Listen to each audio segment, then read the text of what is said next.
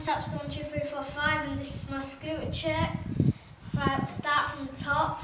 Got some green ODI long necks with ODI bar ends.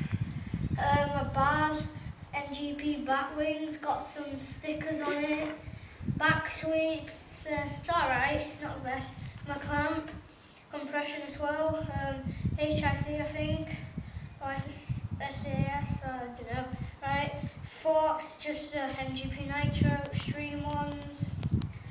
Got some MGP aero wheels, 110 mil. Front one's D-hubs, getting a new one. Got some canisters, MGP pink. My deck, um, the original MGP Nitro Extreme in pink. Got a signature down there if you can see it.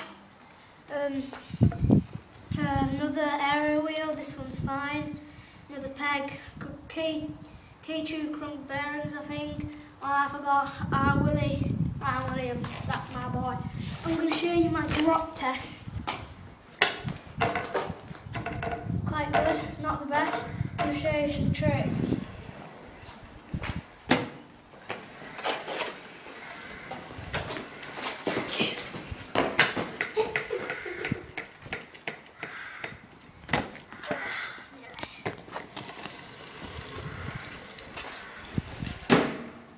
And that's my security check. Thanks for watching.